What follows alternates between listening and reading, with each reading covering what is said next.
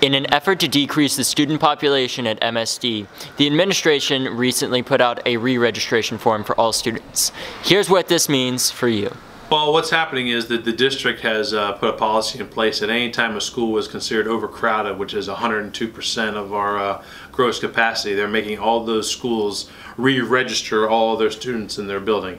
We happen to fall in that category for next year. We're going to be over 102%. So now we're going by the school mandate of the policy that we have to re-register everybody. So if we have kids that don't provide the information that we need to prove that they're in our zone, then they will probably be sent to their home school, wherever that happens to be, for the fall of next year. You know, there's obviously a draw for kids to want to come to Stoneman Douglas, um, and so I mean, I don't know how many are out there that are not supposed to be here. Let's just say. Uh, I guess we'll kind of get a better idea for that once we kind of get through this process. Let's assume that you're a rising senior that is not assigned to Marjory Stoneman Douglas. Here's what happens.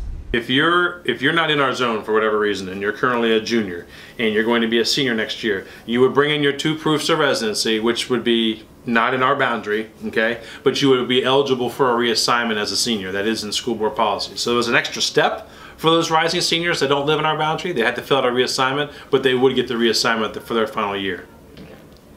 We interviewed several students to see their perspectives on overpopulation. My one problem with having the school growing in higher population is mainly pertaining towards having higher students in a classroom due to the fact that I feel more claustrophobic surrounded by 35 people. For the kids that aren't in the boundaries, they can apply to schools, the schools they're zoned for, and hopefully they'll like it. If not, they can always apply for charter.